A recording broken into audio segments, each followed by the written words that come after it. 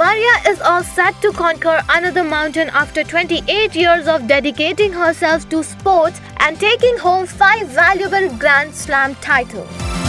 Five-time Grand Slam winner and tennis champion Maria Sharapova, the world's most lauded sportswoman, officially confirmed her retirement on Wednesday at the age of 32.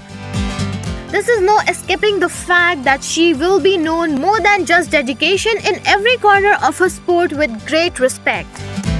Sharapova said tennis, I'm saying goodbye in the published article in Vanity Fair and Vogue magazine. After 28 years of devoting herself to tennis and earning 5 lucrative Grand Slam titles, Maria is all set to conquer another peak.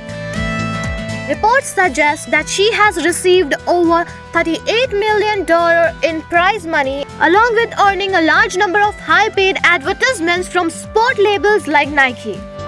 Maria, who became pro in 2001, first reached number 1 in August 2005, winning a total of 36 singles career titles, 645 singles matches, and more than $38 million in on court prize money.